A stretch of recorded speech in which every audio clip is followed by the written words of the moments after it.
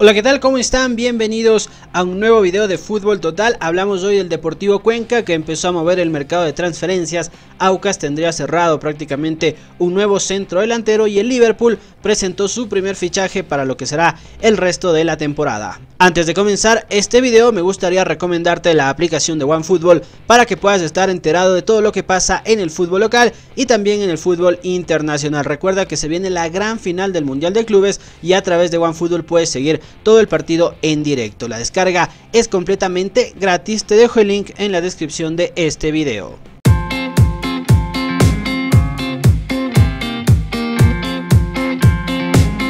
Arranquemos hablando de la selección ecuatoriana de fútbol sub-23 que se encuentra jugando partidos amistosos previo a lo que serán los preolímpicos en el mes de enero. Nos medimos a la selección de Perú, victoria 1 a 0 para Ecuador. Gol anotado al minuto 17 por Alejandro Cabeza. Y quizás esa no es la información más importante, sino la gran formación que plantó Jorge Célico. Escuchen porque me parece realmente un equipazo. Ramírez en el arco, línea de 4, Espinosa, Poroso, Segovia y Cortés cuatro volantes, Alan Franco y Cifuentes como volantes centrales. Extremo por la banda izquierda, Alexander Alvarado. Extremo por la banda derecha, John Sánchez. Campana y cabeza como ofensivos. Qué equipazo, un equipo con mucho fútbol, hay mucha técnica, mucha inteligencia en esa formación. Ojalá este equipo sea el que vaya a competir, si se puede arreglar algo, pulirlo, enhorabuena, pero me parece que es un equipazo que nos puede invitar a soñar tranquilamente con hacer una muy buena presentación en los preolímpicos. Ganó Ecuador y de aquí se juega la revancha contra la selección de Perú el 21 de diciembre. Ojo, son partidos simplemente de preparación. Pasemos a hablar de Liga Deportiva Universitaria, el día de hoy se hizo oficial la incorporación de Pedro Pablo Perlaza para la siguiente temporada, marcador derecho ecuatoriano de 28 años. Esta temporada Perlaza disputó 43 partidos, una regularidad absoluta del ecuatoriano, registrando dos goles y 9 asistencias. Algunos datos de su trayectoria, estuvo en varios equipos en la segunda categoría, el que más destaca me parece es el Quevedo, también estuvo en el Macará de Ambato, en Liga de Puerto Viejo, su última temporada en el Delfín de Manta donde pudo salir campeón de la Liga Pro. Sin lugar a dudas, el equipo universitario se lleva al que puede ser el mejor o el segundo mejor marcador derecho de la Liga Pro. Es un gran fichaje el que asegura Liga Deportiva universitaria. Y para seguir hablando de liga, Anderson Julio prácticamente tiene las maletas listas para ir a la MLS, específicamente al Real Salt Lake, donde milita el ecuatoriano Joao Plata. El equipo de la MLS estaría pagando 2 millones de dólares por el 80% del total del pase del futbolista. Es decir, que Liga se queda con un 20% para una nueva transferencias. Si esto se llega a concretar, la mejor de las suertes para Anderson Julio, una de las figuras que estuvo la Liga Pro esta temporada, que le vaya de la mejor manera y como siempre, que se tarde muchísimo en regresar al fútbol ecuatoriano. Anderson Julio a un paso de la MLS. Pasemos a hablar del club Sport Emelec. Este dato se lo venía manejando hace un par de semanas, pero el día de hoy se pudo confirmar. Robert Burbano regresa al elenco millonario, elemento ecuatoriano de 24 años. La última temporada estuvo en el Delfín de Manta, donde disputó un total de 36 partidos, registrando 4 goles y 3 asistencias. Además, hay que decir que a sus 24 años posee ya 5 títulos nacionales. Es uno de los futbolistas más prometedores que tiene hoy la Liga Pro. Ojalá se pueda consolidar en el bombillo. Por otro lado, Pedro Ortiz cada vez más cerca. El día de ayer se frenó la negociación entre Ortiz y Emelec, todo por el tema económico, pero parece que el inconveniente se va a solventar de una manera bastante sencilla y en los próximos días lo van a ratificar a Pedro Ortiz como nuevo arquero del Club Sport Emelec.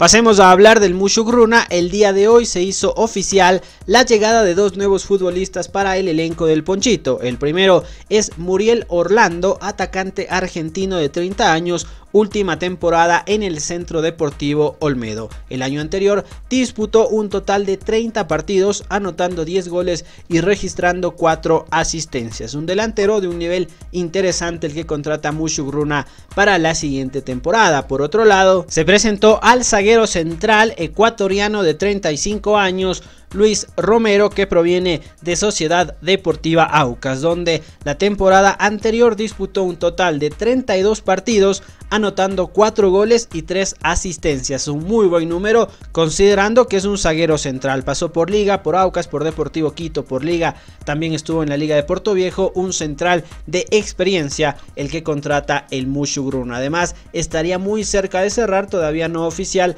Maximiliano Barreiro, atacante argentino, para la siguiente temporada. Además, casi confirmado la salida de Jorge Palacios y también la de Francisco Silva para la siguiente temporada. Hablemos de Sociedad Deportiva Aucas que sigue fichando pensando en la temporada 2020. El día de hoy se pudo conocer que Jorge Palacios, delantero ecuatoriano de 26 años, último equipo el Mushugruna, sería nuevo jugador de Sociedad Deportiva Aucas para la siguiente temporada. El delantero la temporada anterior participó en 24 partidos, anotó 6 goles y registró una asistencia. Antes había estado en el Manta, último equipo el Mushugruna, delantero interesante que ficha Aucas para la siguiente temporada.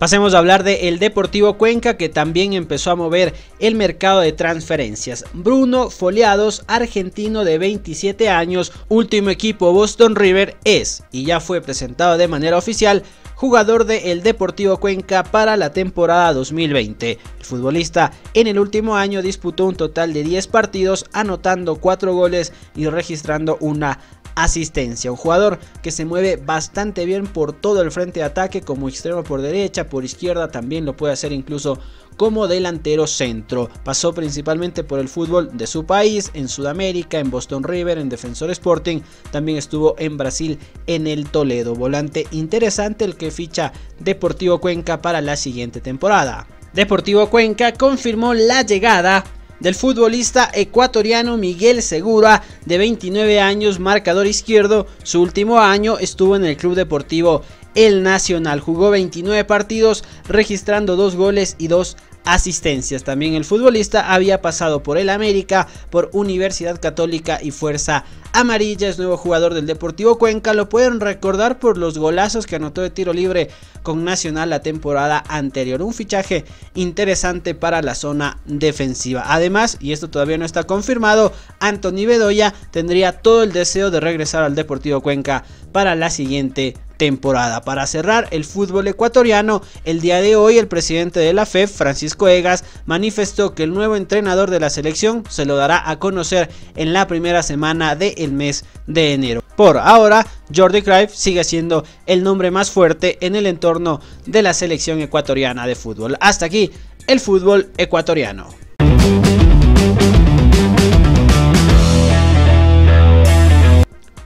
Vamos con el fútbol internacional. Quedaron definidos los enfrentamientos de semifinales en la Copa de la Liga Inglesa. Partidos sumamente interesantes. Habrá clásico de Manchester, Manchester United versus Manchester City. Y la otra semifinal, Leicester City versus Aston Villa. Partidos muy interesantes en el marco de la Carabao Cup. Pasemos a otra información, aunque ya era un secreto a voces, el día de hoy se pudo confirmar por parte de el Liverpool el fichaje de Takumi Minamino. El versátil extremo nipón se convertirá en nuevo jugador de los Reds a partir del 1 de enero. Jugador de apenas 24 años de edad que pertenece a los registros de el Salzburgo, equipo al cual el Liverpool deberá desembolsar la cantidad de 8.5 millones de euros.